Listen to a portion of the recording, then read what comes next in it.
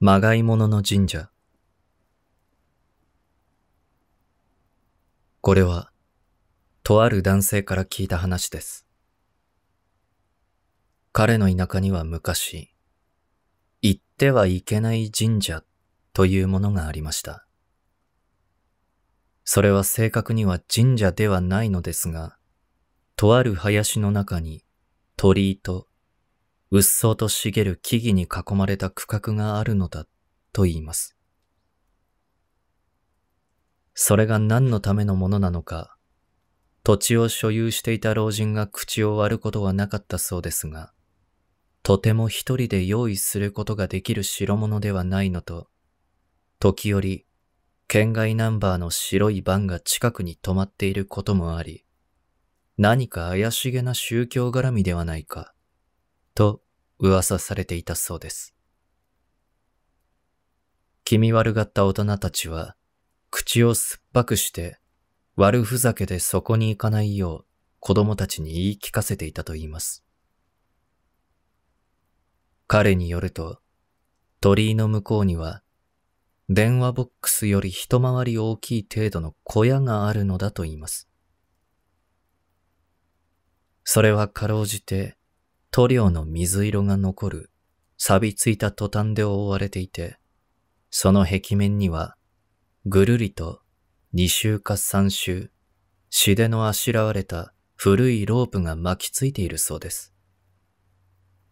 なぜ知っているのかという私の問いに彼は、友人とその神社に忍び込もうとしたことがあるのだ、と答えました。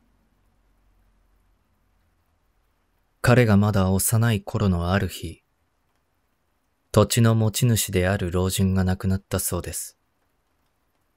そしてそれを境に、定期的に現れていた白いバンも姿を見ることがなくなりました。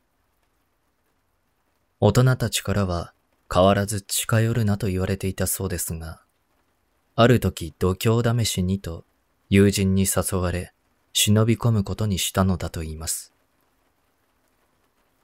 昼下がり、人目を気にしながら林を抜け、鳥居の前に出ると、くすんだ赤色をしたそれの向こう、先ほど話した途端の小屋が見えたそうです。そのいでたちに、不気味さもさることながら、直感的に近寄るべきでないと感じた彼。一方で連れ立った友人は意に介さず、一人鳥居の向こうに入っていったそうです。小屋の壁を見つめ、巻きついたロープをたどり、裏手に回る友人。しばらく姿が見えなくなったそうですが、またひょっこりと姿を現し、今度は地面を見て何かを探すように小屋の周りをうろうろし始めます。時折立ち止まっては足で地面を探っていたようですが、気が済んだのか顔を上げると外で待つ彼の方へ片手を上げ、鳥居の向こうから戻ってきたそうです。友人曰く、まず小屋の裏側には壁がなく、ロープが邪魔で中には入らなかったものの、内側には何もなかったと言います。また、小屋の周りの地面にはいくつか綺麗な円形の石があったそうですが、足で小づいても動く気配はなく、おそらく杭のようなものが埋まっているのでは、と話していました。友人はリュックからノートを取り出すと、図を描いて位置を説明し始めたそうです。まず中央に四角、トタンの小屋を描くと、続いて円形の石を示すいくつかの丸、そしてその周辺にシャープペンシルをぐるぐると動かして黒い木々を描きました。そして最後、黒い木々で楕円形に切り抜かれた区画の上部にペンを構えると、そこで急に手を止めたのだと言います。しばらく何か考えていたようですが、思い立ったように背後の鳥居を振り返ったそう。そしてノートに向き直りペンを構えますが、やはりまた手が止まります。不思議に思って顔を覗き込むと、友人は不安げな表情で見返してきました。どうやっても鳥居を描くことができないというのです。彼とその友人とは今でも交流があるそうですが、あれから随分経った今でも、友人は鳥居を描くことができないのだそうです。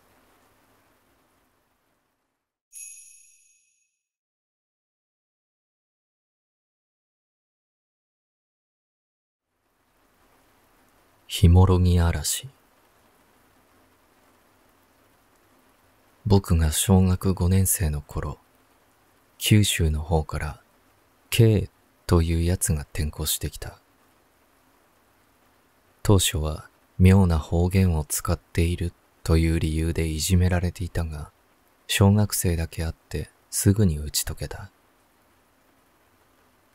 僕と Y と D と K は特に仲良くなって毎日のように一緒に遊んでいた。そんなある日、近所の錆びれた神社で暇を持て余していたら、K が、ひもろぎ嵐をしないか、と提案してきた。ひもろぎ嵐と言われても、当時小学生だった僕らは、ひもろぎという言葉の意味すら知らなかったのだから、当然ちんぷんかんぷん。それはどんな遊びだと K に尋ねたところ、神様を探す遊びだとのこと。後で分かったんだけど、K 自身も詳しく理解していなかったらしい。とにかくやってみようということになって、K にやり方を教わった。手順は簡単で、神社の境内でどんぐりを集めて、そのどんぐりを神様のいそうな場所に土を持って建てるというものだった。早速僕らは境内を探し回って、おのおのの場所にどんぐりを設置した。僕は霊感とかそういうものには疎いので、深く考えず木の根元に設置。Y は神様なら社にいるだろうと社に設置。K は鳥居の足付近に設置。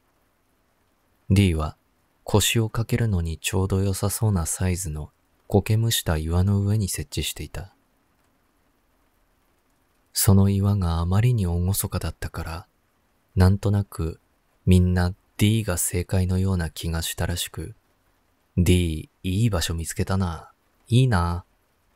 とか言ってた。それでこの後どうするんだと K に聞くと、明日までこのままにしておくと言い出したので、みんなしらけてかくれんぼして帰った。次の日僕は、どんぐりのこともすっかり忘れていたので、早々に帰宅しようとしていたら、D に捕まって神社に集合することになった。一番期待度が高かったのに、結果を見ず忘れ去られるのが D にとっては不満だったらしい。放課後、神社に4人集まってから一つ一つを確認していった。僕と Y と K のどんぐりは何事もなく、そのままの姿で残っていたが、D のどんぐりだけは土が崩れて倒れていた。K 曰く、どんぐりが倒れていたら正解だ、とのことで、D は大喜びで、ほら見ろ俺の勝ちだ、と誇らしげだった。すると K が何やら神妙な顔をして、倒れたのを見たのは初めてだ。今まではこんなことなかった。どうしよう、とブツブツ言い出した。不安そうな K を見て D も先ほどとは一転して、もしかして俺何かまずいことしたか、とおろおろ。K が、実はこれ前の学校で危ないからするなって先生に言われてたんだと言うと、Y が D が正解したからって嫉妬してるんだろとおちょくっていた。僕はどうでもよかったというか、その日はドラゴンボールの放送日だったので早く帰りたかった。なんとなく気まずい空気の中、その日はみんな何事もなく帰宅した。翌日学校へ行くと D の姿がない。朝礼が終わった後に先生から D は病気で休みだと告げられたので、昨日のことを思い出して不安になった僕らは D の家へ見舞いに行くことにした。出迎えた母親が予想以上に悲痛そうな顔をしていたので、これはただごとじゃないと分かった僕は急に罪悪感に駆られて丁寧にもてなしてくれる D の母親の顔を直視できなかった。言われるがままに2階の D の部屋へ案内され、そこで見たのは尻を倍ほどに晴らした D の姿だった。晴れの熱で意識が朦朧としてるのか、D は僕らの存在に目もくれずうんうんうなっていた。母親が言うには今朝起きた時にはすでにこんな状態だったらしい。どうすることもできず、僕らは D の家を後にした。帰り際に K が、俺のせいだ、D はたたられたんだ、と泣きそうな顔をしていた。その後、K が父親に訳を話したようで、父親はしこたま K を叱りつけ、D の母親に謝りに行き、神主を呼んでお祓いをすると、すぐに D の晴れは解放に向かい、一週間後には学校に来れるようになっていた。後で K の父親から事情を聞いた D が教えてくれたが、ひもろぎ嵐は K の前の学校で誰ともなく始め出した遊びらしく、霊的な意味合いより設置したものを踏んで怪我人が出たので禁止されたらしい。どんぐりに特別な意味はなくて、境内にある尖ったものなら何でもよかったそうだ。K の尻の腫れもたたりだったのかどうか、未だにわからない。という思い出話で盛り上がってるうちに、その神社に初詣に行こうということになった。D は、さすがにもう神様も許してくれてるだろう、と、古傷を忘れたように軽快だったが、石段で足を滑らせて思いっきり尻餅をついていた。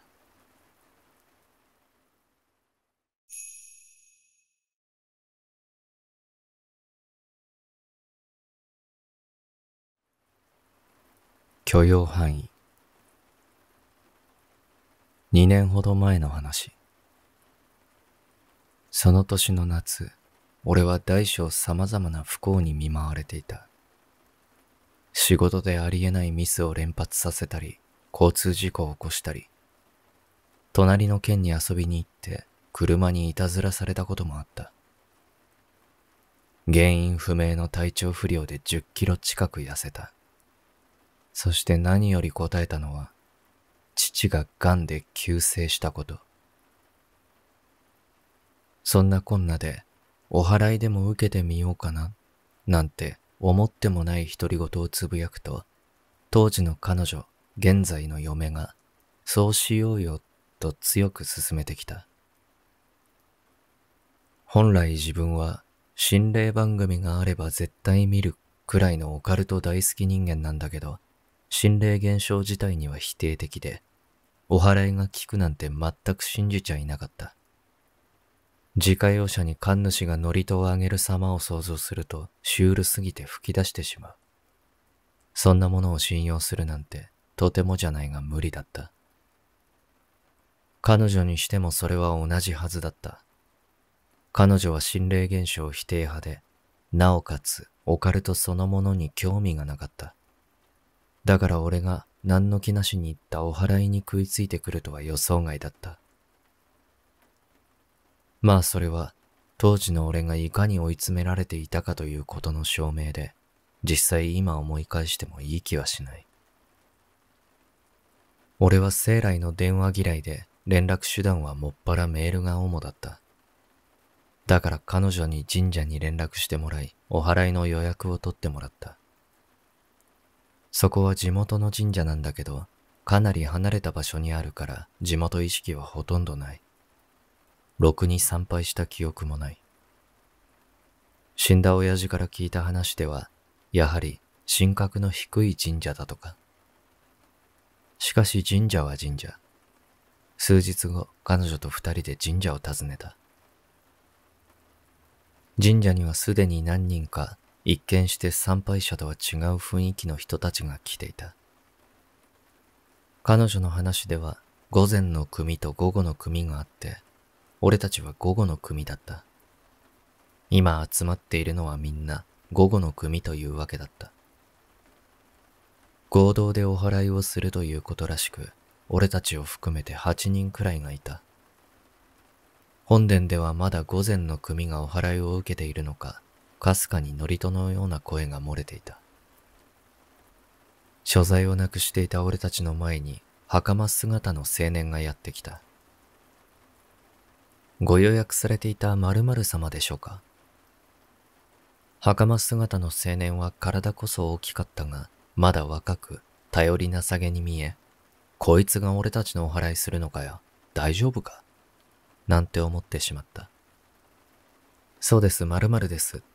と彼女が答えると、もうしばらくお待ちくださいと言われ、待機所のようなところへ案内された。待機所といっても、屋根の下に椅子が並べてあるだけの東屋みたいなもので、壁がなく、入り口から丸見えだった。すいません、今日はお兄さんがお祓いしてくれるんですかねと、気になっていたことを尋ねた。ああ、いえ、私じゃないです。上の者が担当しますので。ああ、そうなんですか。私はただ段取りを手伝うだけですから。と青年が言う。すると、待機所にいた先客らしき中年の男が青年に尋ねた。どうやら、一人でお祓いを受けに来ているようだった。お兄さんさ、神主とかしてたらさ、霊能力っていうか、幽霊とかは見えたりするの？その時、待機所にいる全員の視線が青年に集まったのを感じた。俺もそこんところは知りたかった。いや、全然見えないですね。まあ、ちょっとは何かいるって感じることもないことはないんですけど。みんなの注目を知ってか知らずか、そう笑顔で青年は返した。じゃあ、修行っていうか、長いことその仕事続けたらだんだん見えるようになるんですか？と俺の彼女が聞く。うーん、それは何とも。多分、青年が口を開いたその時だった。シュ、シュ、シュ、シュ、シュ、シュ、と、入り口にある結構大きな木がかすかに揺れ始めたのだ。何事だと一度身を乗り出してその木を見た。するとその入り口のそばに、車椅子に乗った老婆とその息子くらいの年に見える男が立っていた。老婆は葬式帰りのような黒っぽい格好で、網掛けの帽子をかぶり、真珠のネックレスをしているのが見えた。アメリカの映画で埋葬の時に夫人が被っていそうなものだ。息子っぽい男も葬式帰りのような礼服で、だいたい50歳前後に見えた。その二人も揺れる木を見つめていた。シュシュシュシュシュシュシュッと音を鳴らして、一層激しく木は揺れた。触れ幅も大きくなった。根元から揺れているのか、幹の半分くらいから揺れているのか不思議とわからなかった。わからないのが怖かった。ビュン、ビュンと木はもう狂ったように揺れていた。老婆と男は立ち止まり、その木を困ったように見上げていた。すると神主の青年がさっと待機所から飛び出すと、二人に走り寄った。何々様でしょうか？木の揺れる音のため、自然と大きな声だった。うなずく男。大変申し訳ありませんが、お引き取り願いませんでしょうか？我々ではどう対処もできません。こちらに背を向けていたため、青年の表情は見えなかったけれど、割と毅然とした態度に見えた。一方、老婆と男はお互いに顔を見合わし、うなずき合うと、青年に会釈し引き上げていった。その背中に青年が軽く頭を下げて、小走りで戻ってきた。いつの間にか木の揺れは収まり、葉が何枚か落ちてきていた。い今の何だったの？と中年のおじさん。あの木なんであんなに揺れたの？あの二人のせい。と彼女。俺はあまりの出来事に言葉が出なかった。興奮するみんなを青年は落ち着いてくださいとでも言うように手で制した。しかし青年自体も興奮しているのは明らかだった。手が震えていた。僕も実際見るのは初めてなんですけど、稀に神社に入られるだけで、ああいったことが起きることがあるらしいんです。どういうことっすか？と俺。いや、あの、僕もこういうのは初めてで、昔いた神社でお世話になった先輩の、その先輩からの話なんですけど、青年神主の話は次のようなものだった。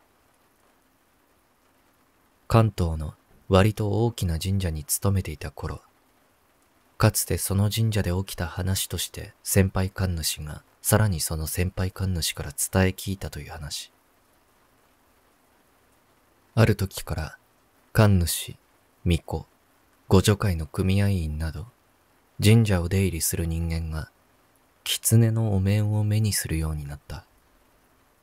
そのお面は敷地内に何気なく落ちていたり、ゴミ集積所に埋もれていたり、賽銭箱の上に置かれていたりと、日に日に出現回数が増えていったという。ある時、絵馬をかける一角が小型の狐のお面で埋められているのを発見され、これはもうただごとではないという話になった。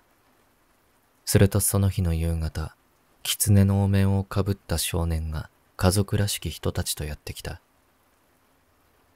間の良いことにその日、その神社にゆかりのある位の高い人物がたまたま別件で滞在していた。その人物は家族に歩み寄ると、こちらでは何も処置できません。しかし〇〇神社なら手もあります。どうぞそちらへご足労願います。と進言し、家族は礼を言って引き返したという。その先輩は神社ってのは聖域だから、その聖域で対処できないような許容範囲を超えちゃってるものが来たら、それなりのサインが出るもんなんだなって言ってました。じゃあ今のがサインってことか。とおじさんがつぶやいた。多分、まあ間違いないでしょうね。でもあのまま返しちゃってよかったんですかね。という俺の質問に、青年は、ええ、一応予約を受けた時の連絡先の控えがありますから、何かあればすぐに連絡はつきます。いやーでも大したもんだね。見直しちゃったよ。とおじさんが言った。俺も彼女も他のみんなもうなずいた。いえいえ、もう浮き足立っちゃって。手のひらとか汗がすごくて。っていうか、まだ震えてますよ。と青年は慌てた顔をした。その後、つつがなくお払いは済んだ。正直、さっきの出来事が忘れられず、お払いに集中できなかった。多分他のみんなも。しかし偉いもので、それ以降体調は良くなり、不幸に見舞われるようなこともなくなった。結婚後も彼女とよくあの時の話をする。あの日以来、彼女も心霊番組を見たり、ネットで類似の話はないかと調べたり、どこで知ったのか、シャレコアを覗いたりもしているみたい。やっぱり気になっているのだろう。もちろん俺だってそうだ。しかし、だからといって、あの人のいい青年神主に話を聞きに行こうという気にはならない。もしもだけどさ、私たちが入った途端にさ、木がビュンビュンって揺れ出したら、もうたまんないよね。彼女が引きつった笑顔でそう言った。全くその通りだと思う。あれ以来、神社や寺にはどうにも近づく気がしない。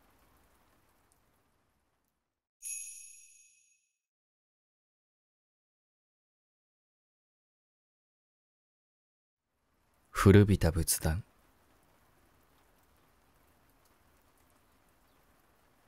去年の盆に田舎に帰省した時の話。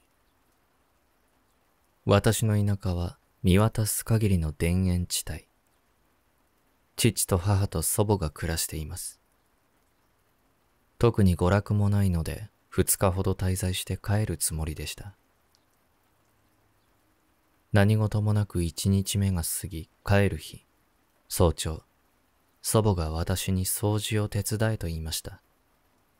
帰りの電車は午後だったので、私は快く手伝うことにしました。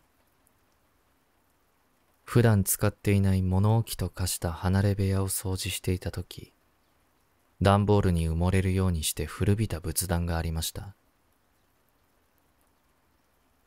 仏様をこんなところに閉じ込めちゃいかん、と祖母は慌てたようにその仏壇を引っ張り出すよう私に言いました。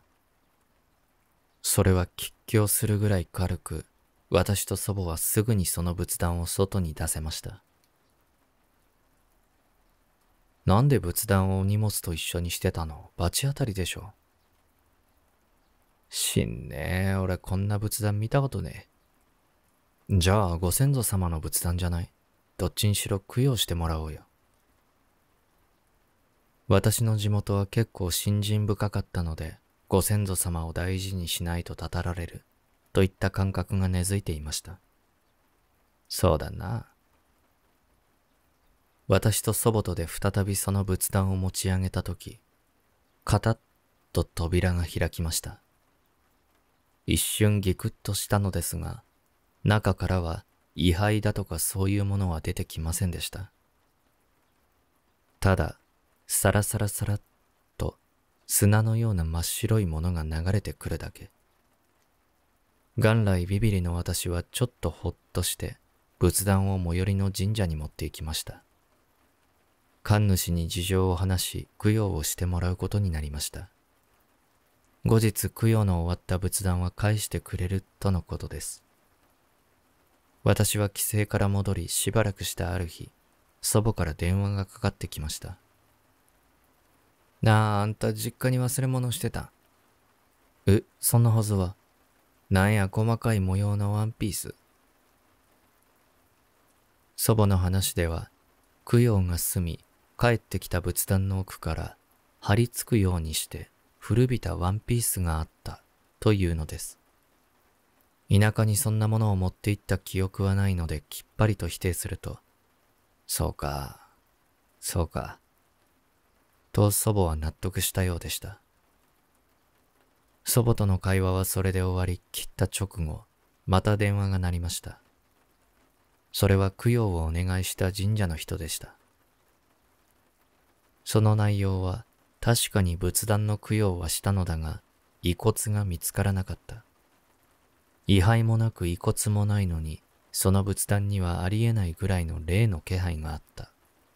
ひょっとして家の中にそういったものがあるのではないか。祖母に話を聞いたのだが、いまいち要領を得ない。私は仏壇が出てきた部屋を見る限り、そんなものはなかったと言おうと思いました。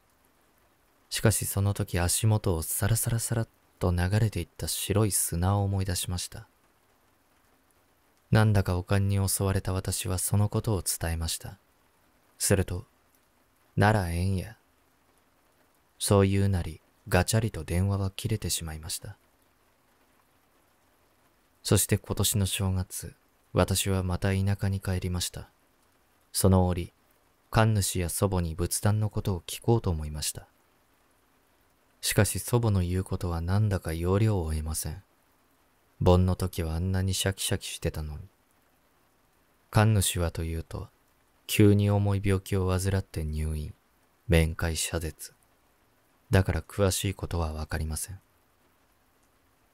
ただあの時、足元を流れていったあの白い砂は、人の骨が風化したものだったのではないか、と思うと、なんだかゾッとしない日々を送る私です。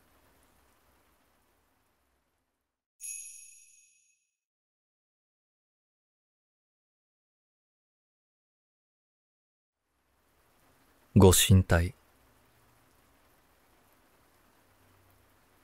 なんか怖い話になるけど、昔、わけのわからない体験をしたことがある。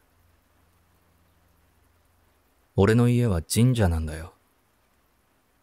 で、父親が神主なんだけどさ、大抵、神社って、まあ、寺でも同じようなもんだろうけど、ご神体ってってのがあんだよ。つまり、祀ってる神様とつながりのあるような、例えば、像だったり鏡だったり。よくあるじゃん。水を湧き出させただのは、鬼を封じただの、ローカルな神話。それをもとに、その神を祀ってる場合、その時に使われたものとか、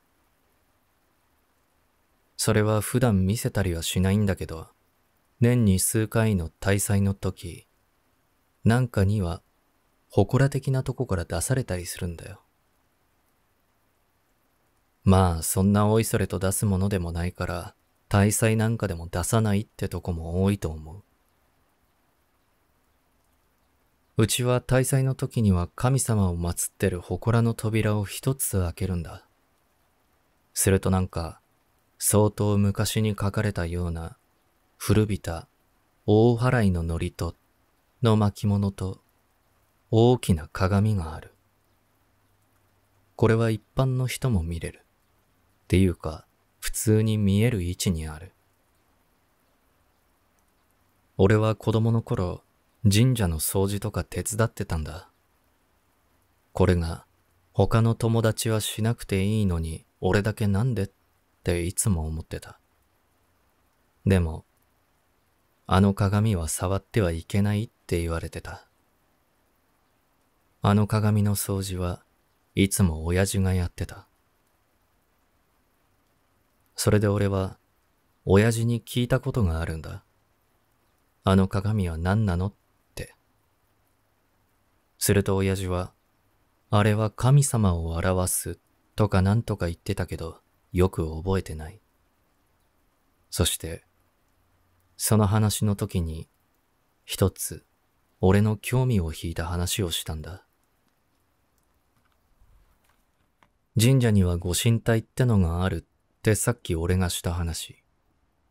親父が言うには、うちにもご神体はある。でもそれは、あの鏡じゃないらしい。大祭の時に開けられる扉を開けると、鏡やら、それを乗せる台やら、箱、巻物やらがある。そして、それらをどけると、奥にもう一つ扉がある。その扉の奥にこそ、うちの神社のご神体が安置されていて、親父もそれを見たことはないらしい。聞くには、祖父、早く死んだから俺はよく知らないんだが、もう見たことはないようで、親父は開ければ呪われるとかなんとか言われて、代々開けてはならない、見てはならないとされているって話だった。親父は死ぬ前には見てみたいって笑ってた。親父は俺には厳しく絶対に開けるなとは言わなかった。俺が開けるなんてありえないと思ったのかもしれない。でも、今考えると、とんでもなく優しい人だったって言われる祖父が親父に強く言わなかったから、親父に危機感がなかったとも思う。そもそも俺自身、呪いも霊も信じてなかったし、あの親父も神主でありながら神様なんて信じてなかった節が多い。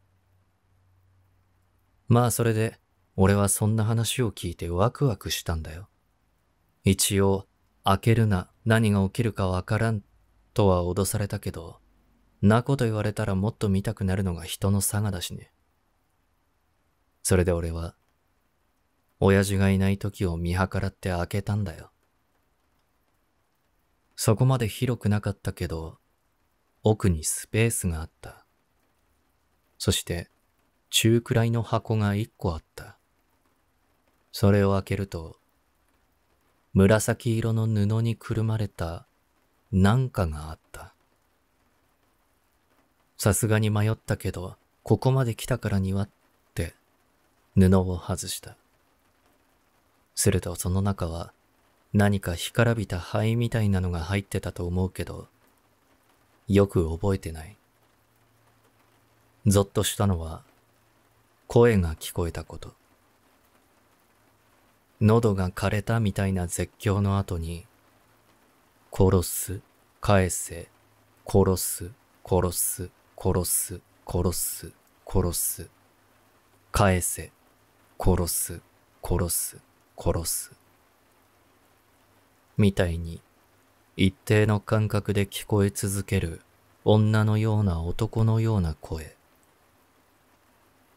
俺は恐怖で絶叫したと思うけど、後で聞いたところによるとしてなかったみたい。気がついたら部屋で寝てて、なんか倒れてたらしい。あの場所について聞くと、特に何もなってなかったと言われた。自分からあのことは言えなかったけど、別に扉も開いてなかったし乱れもなかったらしい。気を失う前俺が直したのか、よくわからない。よく考えると、あれは夢だったんじゃないのかってよく思う。でも声は未だに焼き付いてるし、かすかに見たあの布も覚えてる。やっぱりよくわからない。それから数年は、あそこに近づくのも声が聞こえてきそうで嫌だったけど、今はもう特に怖くなどない。しかし今でも、うちにあるあれは一体何だったんだろうなって思うわ。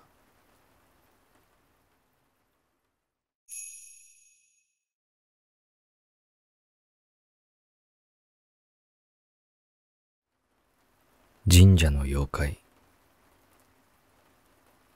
俺は霊とかあんまり信じてないんだが、いわゆる妖怪ってのはいると確信している。今まで俺が妖怪を見たのは人生で2回だけ。そのうちの1回をちょっと書いてみようと思う。当時俺は小学5年生だったかな。祖父が癌で死んでしまったので、急遽東北のど田舎に帰ることになった。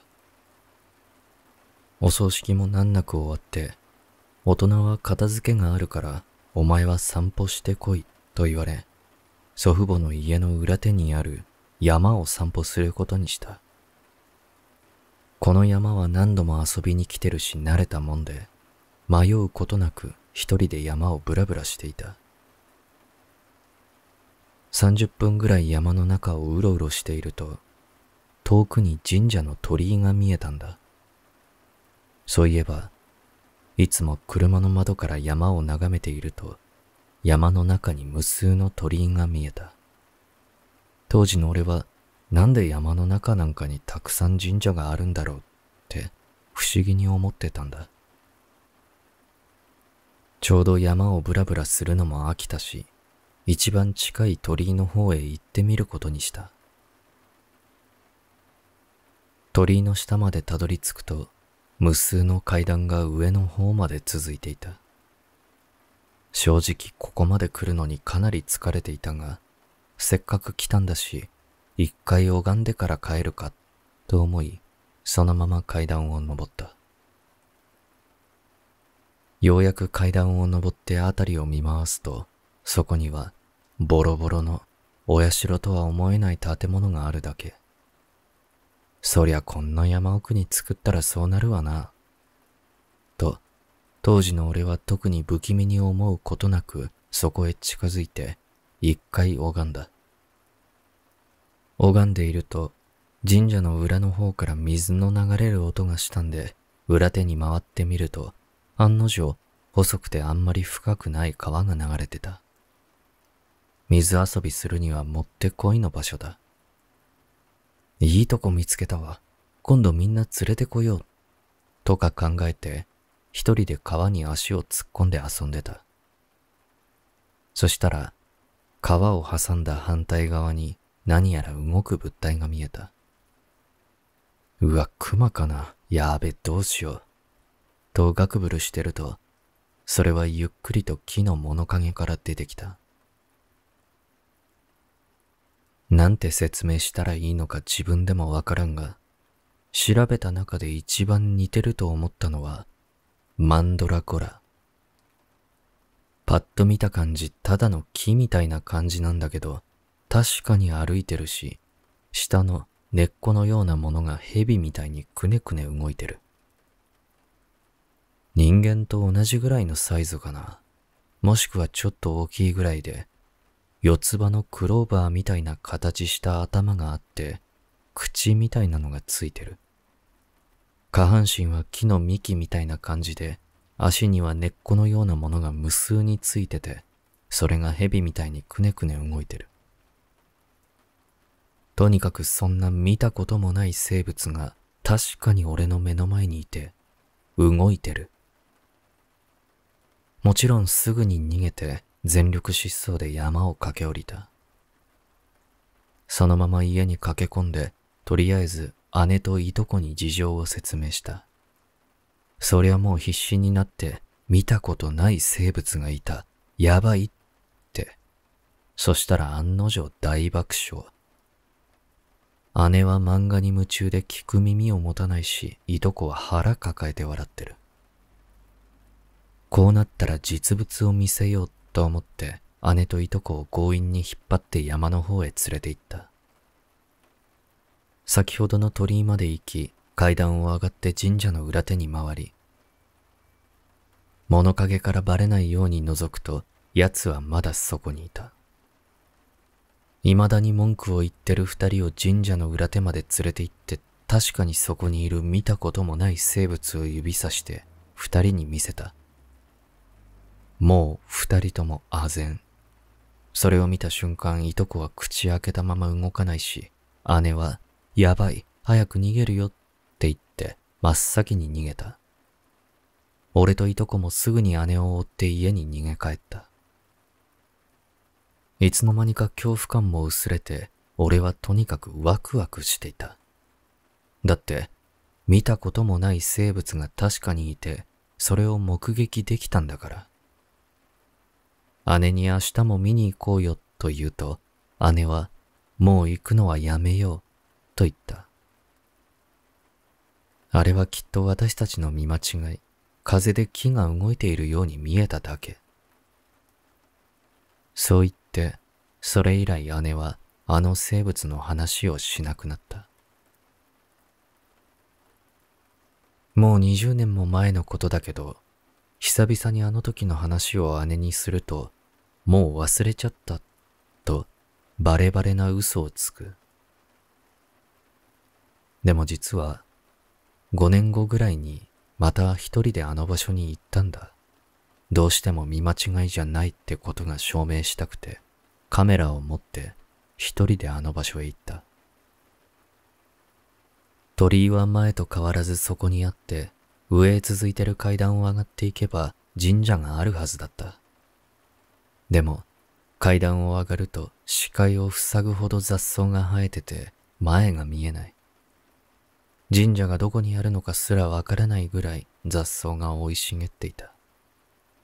そして、やけにここだけ蜂が密集してて、まるで神社を守ってるみたいに無数の蜂がブンブン飛んで俺を威嚇していた。これじゃあ神社に近づけない。でも普通に考えて、5年前までは雑草なんて全くなかったんだ。ということは、誰かが管理をしていた。管理してる人があいつの存在を知らないわけがない。そう思って、近くの住民にさりげなく聞いてみた。あそこの神社で前不思議なものを見た気がするんですよって。そしたら、あからさまに嫌な顔をして、もう近寄るんじゃないよって言われた。多分地元の人はあいつの存在を知ってるんじゃないかなと思ってる。でも、どんなに聞いてもそれ以上は教えてくれなかった。ちなみに場所は青森県、それ以上は勘弁。今祖父母の家には親戚が住んでるもんで特定されることは言えない。でもその神社はまだそこにあるよ。死ぬ前に雑草を何とかして、もう一度行って確かめたいと思ってる。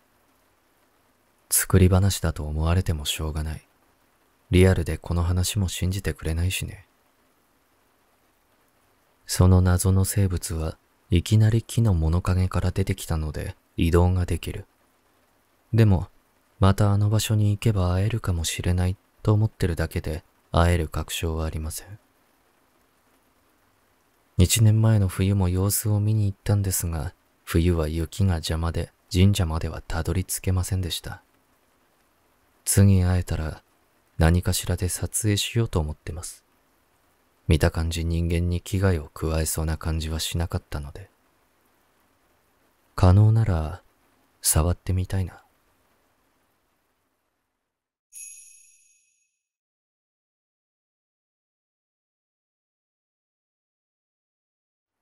神様の卵。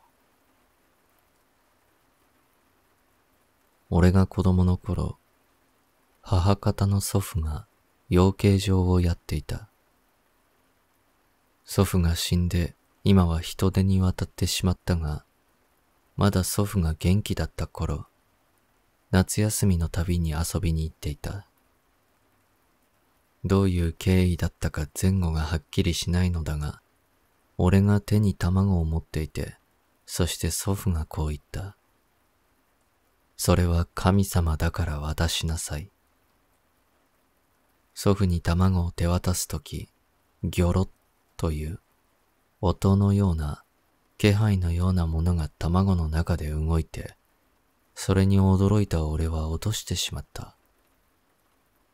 割れた卵から真っ黒い毛のようなものが見えて、それを祖父はすぐに踏みつけた。嫌な音がした。俺はその出来事を気にしていたらしく、その次か次の次の夏あたりに祖父が教えてくれた。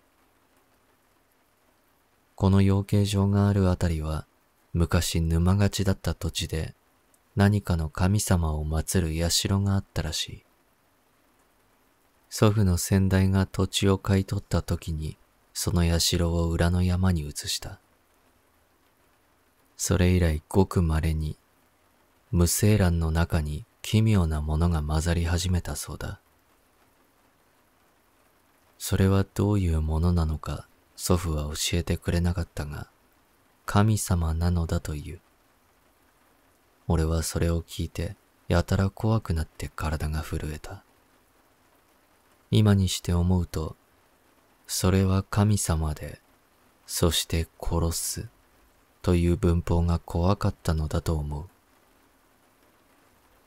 悪霊だから殺すと言われればそれで納得したかもしれないのに。祖父の葬式の日、出棺の最中に鋭い笛の音が響いた。周りにいた全員が耳を塞いで騒然となったけど、俺はなぜか心の使いが取れたような気がした。説明できないが納得した。ごめん、わけわかんないな。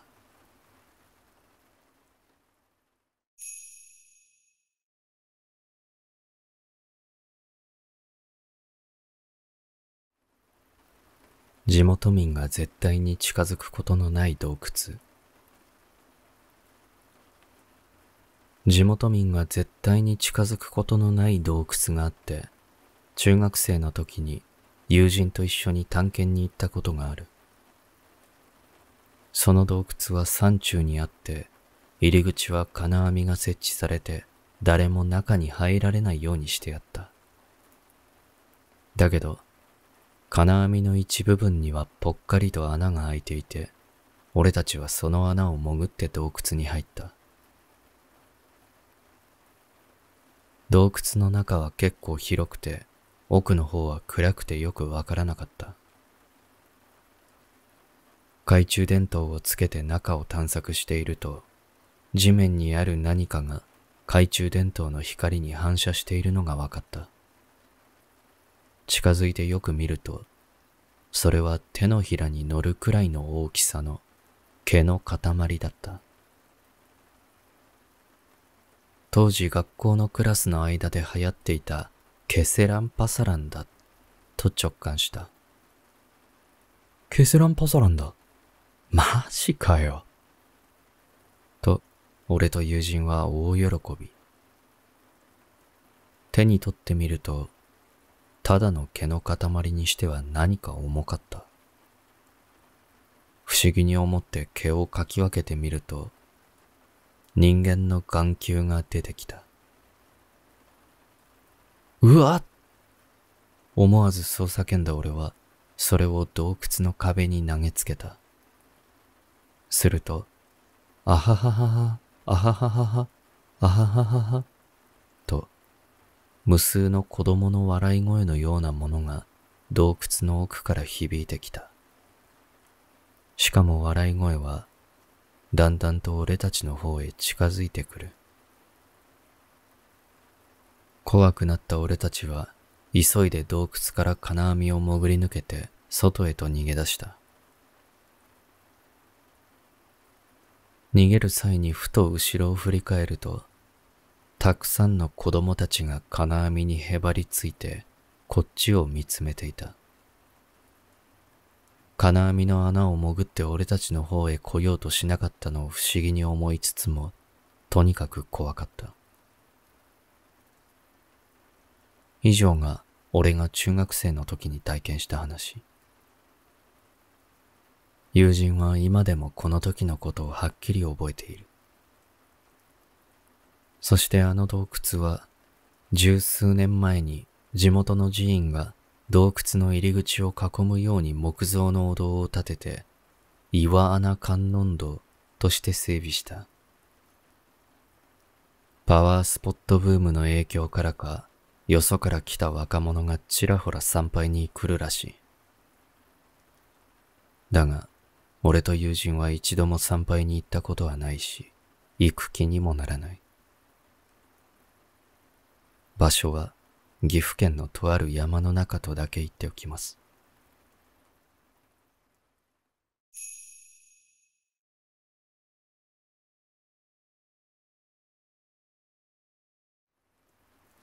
庭の地蔵3年前くらいなんだけど半ボケの80歳を迎えた祖父が亡くなった時の話。頑固なじいさんで、絶対に息子夫婦の世話にならないと言って、築70年くらいの家でずっと一人暮らしだった。家を取り壊すからってんで、遺品とかの整理をしにボロ屋に行ったんだよ。庭なんか荒れ放題。荷物を外に出すときに草が邪魔だってんで適当に雑草とかを始末しようとしたんだ。そしたら石に足をぶつけて転んでしまった。なんだよもう、とか思って地面からひょっこり隆起してる石を見るとさ、なんか石なんだけど耳みたいなのがついてるんだよ。よく見ると耳どころか顔までついてる。掘り返してみたら、すげえ古いお地蔵さんが出てきた。それも一体じゃなくて六体。もっと掘ったらまだあったかも。そんなに広くもない庭からゴロゴロ出てきたんだ。うへーと思って家族全員で気味悪がってたんだが、おかんだけそのお地蔵さんたちの額をじーっと観察しながら、真っ青な顔をしていた。どうしたの？って聞いたら、このお地蔵さん、額に私たちの名前が彫ってある。泥をちゃんと拭き取ってよーく見てみると、確かにひらがなで俺らの名前が彫ってあった。雑な彫り方だったし、多分じいちゃんが自分で彫ったんだと思う。でも最近思うんだが、老人が一人でこれだけの数の地蔵を運んで埋められるとは考えにくいんだよな。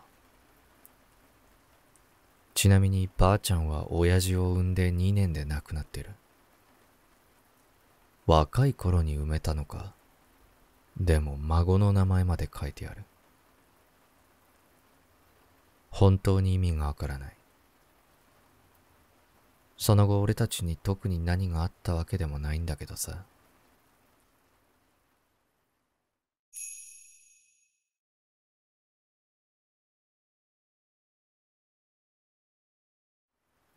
仏壇にまつわる話。これは20年経ってようやく一つにつながった話である。20年前、私は仕事の関係で東北のある小都市に住んでいた。その時の同僚で仮にお名前を M さんとするが、まずは彼女の周りで起こった不可解な出来事を記しておきたいと思う。M さんは出会った時、子供が3人いたが、すでにシングルマザーだった。子供たちを保育園に預けたり、実家の両親に面倒を見てもらって仕事をしていた。この M さんのご主人が亡くなられるまでの経緯がすごかった。M さんのご主人は地元企業の会社員として普通に働いていたが、ある日突然行方不明となった。自分の車で仕事に向かったきり、連絡が途絶えた。かろうじて分かったのは、会社内でいじめがあったらしいということだったが、行き先の心当たりがある人は誰もいなかった。M さんも義理の両親と相談の上、警察に捜索願いを出し、ご主人の帰りを待った。そして約1ヶ月後、本人から突然自宅に電話があり、気がついたら青森にいた。迎えに来てほしい。とのことだった。そこは遠く離れた本州最北端の場所であったという。車の中にいたそうだが、ガソリンは空だし、服などはボロボロで裸に近い状態だった。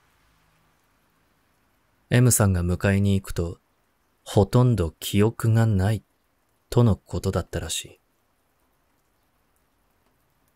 それからご主人は仕事を辞めて、自宅アパートに閉じこもるようになった。そして M さんは、生活のためフルタイムで働かなければならなくなった。ご主人の精神状態に不安を感じつつも仕方がなかったという。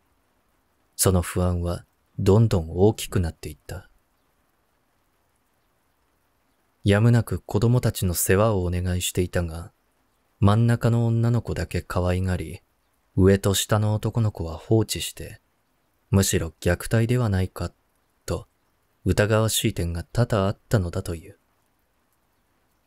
M さんが心配し始めた頃、ご主人のある精神の異常行動を目の当たりにした。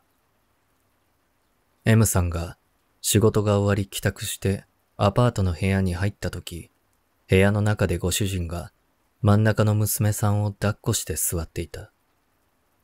見ると、その前には家中から集められたと思われるカッター、ハサミ、包丁などがたくさん置かれていた。M さんは仰天して言葉を失ったものの、娘が泣いたりしていなかったので冷静になり、トイレに行かせる時間だよ、と言って娘を受け取り、他の男の子二人も連れて、裸足のまま車に押し込み、すぐさま脱出した。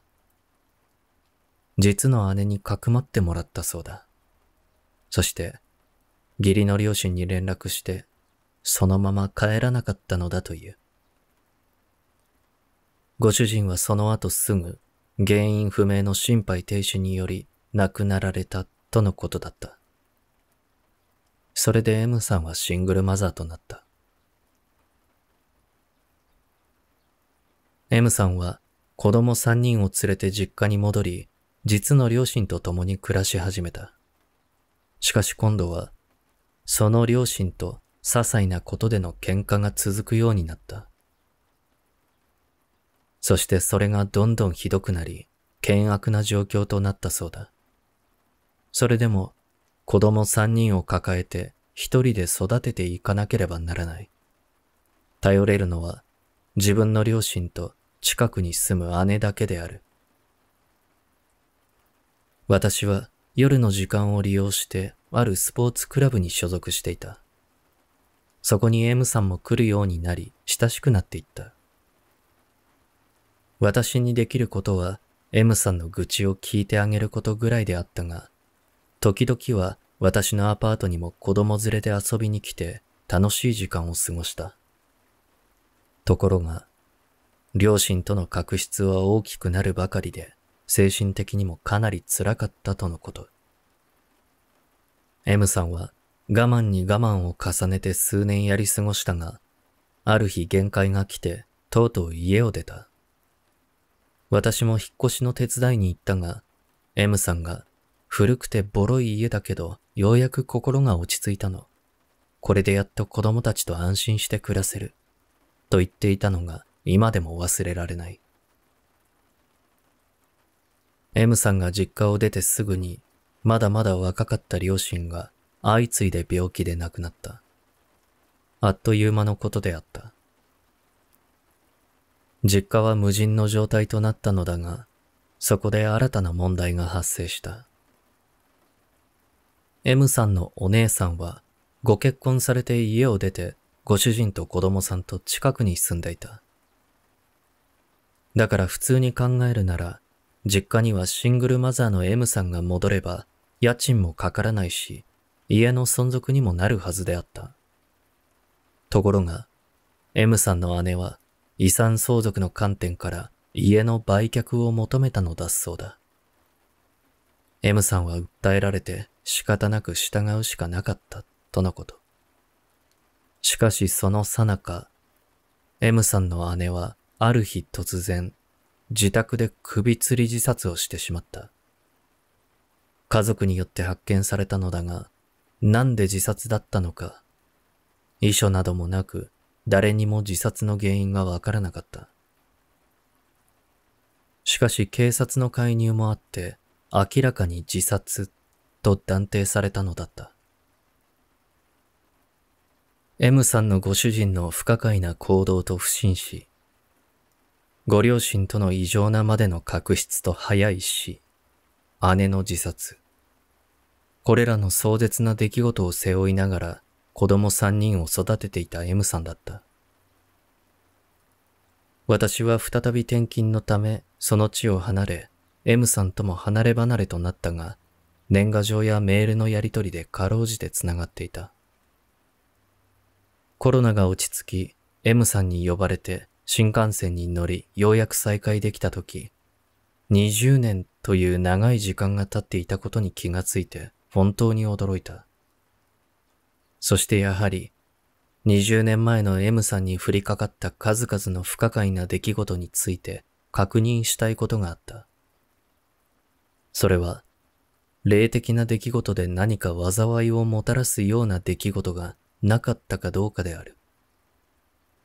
すると M さんは少し考えてから、そういえばあったよ、とのこと。それが、これら一連の不幸な出来事の原因となるかどうかは不明だが、思い当たることがあると話してくれた。M さんの話。まだご主人が正常な状態だった頃、急に M さんの実家から緊急の呼び出しがあった。近くに住む姉と共に M さんとご主人も実家に駆けつけると、家の玄関の前に高さ一丈。近くに住む姉と共に M さんとご主人も実家に駆けつけると、家の玄関の前に高さが一丈ほどの大きな荷物が届いていたそうだ。それは宅配便の荷物で、設置までの料金は含まれておらず、玄関先お渡しのため、そのまま置いていった、とのことだった。中身は、なんと仏壇だった。M さんの母親の弟、つまり M さんの叔父が所有していたもので、亡くなられた際、古い家も取り壊すことになり、お位牌は息子さんが引き取り、仏壇は M さんの母親が譲り受けたらしい。それが荷物扱いで送られてきたのだが、両親だけでは部屋の中まで運べず呼び出されたということだった。ご存知の通り、仏壇はかなりの重量があり、玄関先で荷ほどきをし、上下二つに分けて、M さん夫婦、M さんの姉、M さんの両親の5人で、何とか運び入れたそうである。その仏壇であるが、宅配便で送る際、魂抜きをしていなかったということが、ずっと後になって判明した。叔父の息子にあたる方がまだ若かったということもあり、そのまま送ったそうだ。魂抜きをしなかったからといっても、本来なら何の問題もないとされているし、法的にも規制はないことである。だから決して、これが原因で、とは言えないのだが、実際には、この仏壇を設置してから関わった5人のうち、4人が短期間で早すぎる死を迎えてしまった。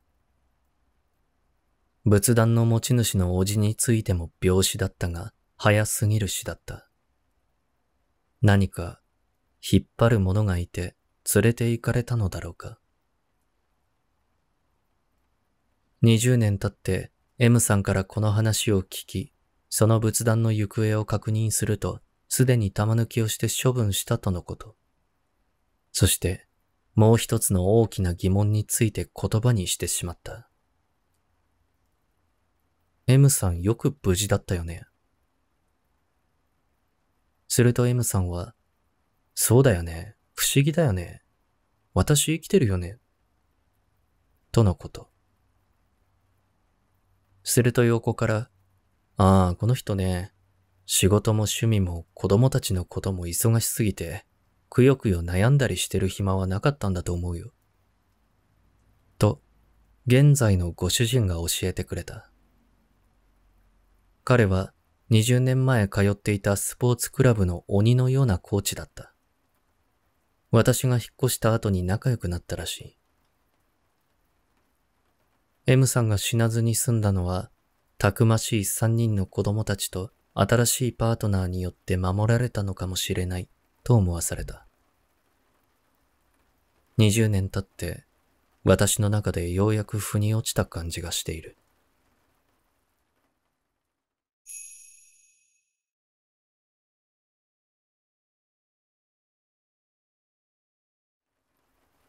ぐるぐる巻き。私の母は信心深く、近所の天寺へお参りと掃除などの奉仕へよく出かけていました。寺の安寿様は大変に慕われているし、信者さんたちとのおしゃべりなども楽しいようでした。ところが、ある時を境に、母がその天寺へ出向かなくなったのが心配で、私は理由を尋ねたのです。母は言い渋っていましたが、やがて、嫌なものを見た。しばらくは近づきたくない。と表情を曇らせました。母の話したことを書きます。信者の A さんは60代くらいの方で、その頃、日を追うごとに元気がなくなっていました。境内の掃除をしながら、ぽつりぽつりと A さんは話したそうです。学生時代からの親友が病気で亡くなったんですよ。ああ、そういうことだったか。と納得しかけたところに、本当にあんなことしなきゃよかった。と A さんは続けました。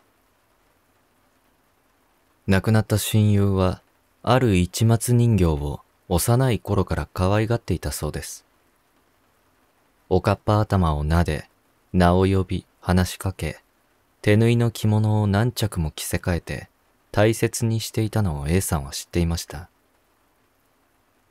その人形を残していくのが辛く、一緒に棺に入れてもらうかどうか、最後まで迷っていましたが、答えを出さないまま亡くなりました。市松人形は結局、棺に入れられることはありませんでした。A さんが親友の形見として市松人形をもらい受けたのです。しかし、異変はすぐに起きました。人形がじっと目で追ってくるような気がしたり、優しげだった表情も悲しげであったり怒っていたり感じられました。部屋を出入りすると、決まって棚の上から落ちてもいました。親友の形見は A さんにとってすでに不気味な人形でしかなくなってしまいました。その話を聞いた母は人形の階段ではよく聞く内容だし正直なところ A さんの先入観から来ている勘違いだろうと思ったそうです。そんな話をしてから少し経った頃、寺を訪れた母は帰ろうとしていた A さんに行き合いました。哀れなほどやつれていました。A さんは、あの人形のせいで眠れなくて辛いのだ、と言いました。ある時 A さんが部屋に入ると、案の定人形は床に転がっていて、怒りが湧いてきた、と言います。気味悪く思いながらも乱暴に人形をつかみ上げ、一瞬人形の顔を見合った A さんは、思わず人形を放り投げました。小さな口が開いていたのだそうです。もう、アンジュ様にお願いするほかなくなってさ。A さんの言葉をなんだか信じられない話だと思った母は、怖いわね、とだけ答えて別れました。境内の掃除を終えた母がご挨拶をして帰ろうとアンジュ様を探していると、奥から物音がしました。アンジュ様がおしまいの部屋の方へ向かうと、随分と大きな音がしています。ガタ、ガタガタ、ガッタン、ガッタン。床板に硬いものをぶつけたり、転がしたりしているような音です。何をしているかわからないものの、母はアンジュ様に声をかけました。何かお手伝いすることはありますか？ぴたりと音は止みましたが、返事はありませんでした。不審に思った母は、襖をそっと開けて中を覗き、そして、見たのです。床の上に横倒しになっている木の椅子を、その椅子に、針金でぐるぐる巻きにきつくくくりつけられている市松人形の白い顔を。あっけに取られている母の鼻先でストンと襖が閉められました。いつの間にか横に立っていたアンジュ様がゆっくりうなずき、今夜はお経をあげて明日お焚き上げをします。と静かにおっしゃいました。それ以上アンジュ様は何もおっしゃらなかったし、母も何も聞けなかったそうです。だいぶ月日が経ってから再び、母が寺を訪ねると、A さんは来なくなってしまっている、とのこと。あの安寿様は別の寺へお移りになり、新しい安寿様がいらしたようです。母は、その天寺へはもう行っていません。